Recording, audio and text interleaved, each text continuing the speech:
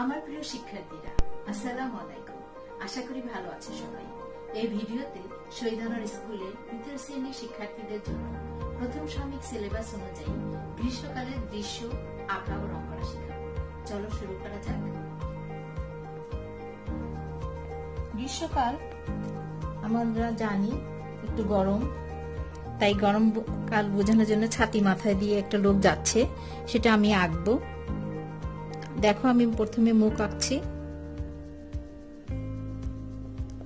খেয়াল করো তোমরা, এইভাবে পিঠটা এঁকে নিলাম। এখন আমি পা আঁকবো। তোমরা দেখতে পাচ্ছ নিশ্চয়ই, এখন লোকটার হাতে ছাতা আছে। ছাতাটা একটু বাঁকা করে আছে, সেটা আমি আঁকবো। মানে ছাতাটাও মাথার উপরে ধরে আছে।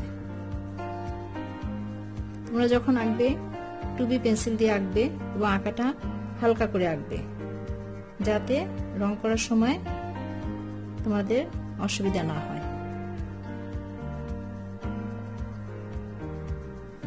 এখানে দৃশ্য তুমি বিভিন্নভাবে আঁকতে পারো।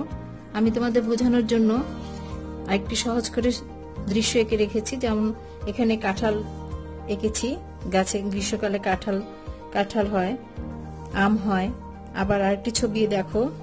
এখানে দুটো ঘর দিয়েছি দূরে গ্রাম, নৌকা। এখানে তোমাদের রং করা আরেকটি ছবি আছে। লোকটি যাচ্ছে, দুটি লোক যাচ্ছে। এখানে আম গাছ দিয়েছি, কাঁঠাল গাছ দিয়েছি। কাঁঠালের দেখো, কাঁঠালের রংগুলি দেখো। উপরে আকাশ, এখানে হালকা সবুজ, গাঢ় সবুজ। এখানে দূরে আমি বোঝানোর জন্য একটু হলুদ রং দিয়েছি মানে গরম। এখানে সূর্যের একটা তাপ বোঝানোর জন্য আমি হলুদ রং দিয়েছি। সূর্যটা আমি আঁকিনি, কিন্তু ওইভাবে বোঝানোর জন্য একটু হলুদ রং দিয়েছি।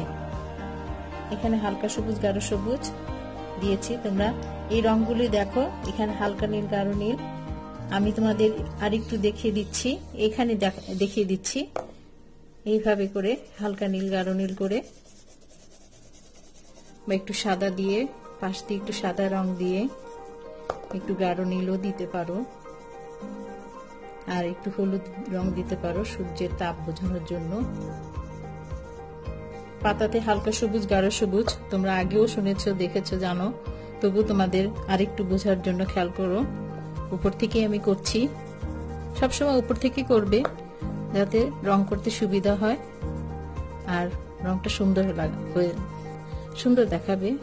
রংটা হাতে লাগবে না। দেখো আমার কোথাও রং হাতে লাগেনি। এখানে হালকা সবুজ, গাঢ় সবুজ দিয়ে তুমি তোমার দৃশ্যটাকে ফুটিয়ে তুলবে। এখন দেখো, এখানে আমি ছাতাতে কত রং দিয়েছি। তোমরা যদি চাও অন্য রং দিতে পারো। আমি একটু কালারফুল করার জন্য আর একটু সুন্দর দেখা যাতে যায়, তিনটি রং দিয়েছি। এখানে আবার কালো রং দিয়েছি। দেখো, লুঙ্গিতে আমি এখানে নীল রং দিয়েছি। তুমি অন্য রঙও দিতে পারো। এর জন্য কোনো অসুবিধা নেই। রাস্তাটা আমি, দেখো, হালকা অরেঞ্জ মানে কমলা রং দিয়েছি। হলুদ দিয়েছি, একটু অ্যাশ কালার দিয়েছি। গাছের রং দেখো, হালকা খয়েরি, গাঢ় খয়েরি, আবার বাদামি, এখানে বাদামি রং দিয়েছি, খয়েরি রং দিয়েছি। এখন সম্পূর্ণ রং করার পরে তুমি কিন্তু অবশ্যই বর্ডার দিবে। দেখো বর্ডার পেন্সিল বর্ডার দিয়ে একটু গাছগুলোকে বুঝিয়ে দিবে, একটু পাতাগুলি বুঝিয়ে দিবে। এত সব জায়গায় তোমার পাতাটা দেখানো দরকার নেই, কিছু কিছু জায়গায় দেখালেই হবে। তুমি একটু কাঁঠালের একটু দিয়ে একটা দাগ দিয়ে দাও। কাঁঠাল যে কাটা কাটা হয় আমাদের জাতীয় ফল, তোমরা খেয়েছো, দেখেছ। কাঁঠালে একটু তোমরা দিয়ে দিতে পারো। আম, এখানে আমি কাঁচা আম, পাকা আম বুঝিয়েছি গাছের মধ্যে। একটা পাতার মধ্যে দাগ দিয়ে দিতে পারো। তারপর নিচে আমি হালকা সবুজ, গাঢ় সবুজ দিয়েছি। গাছটাকে আরও সুন্দর করে বোঝানোর জন্য গাছের নিচে যে ছায়া পড়ে সেটার জন্য আমি ডিপ সবুজ দিয়েছি, এখানেও গাঢ় সবুজ দিয়েছি। রাস্তাটাকে দেখা, আরও সুন্দর দেখানোর জন্য আমি অনেকগুলি রং দিয়েছি।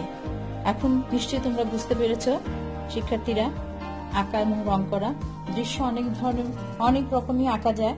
আমি দু ধরনের তোমাদের দৃশ্য দেখালাম। তোমরা খেয়াল করো, আমি আবার তোমাদের বোঝানোর জন্য দেখাচ্ছি। এখানে একরকম এখানে আর রকম। তোমাদের যেটা ভালো লাগবে তোমরা শিখে নিবে। তাছাড়া তোমরা অন্য, আরও আরও সুন্দর করে আঁকতে পারো। আশা করি বুঝতে পেরেছ। রং এবং আঁকা। ধন্যবাদ সবাইকে।